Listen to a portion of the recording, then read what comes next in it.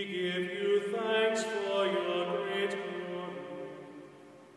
Lord God, heavenly King, Lord God, almighty Father, Lord Jesus Christ, only begotten Son, Lord God, Lamb of God, Son of the Father, you take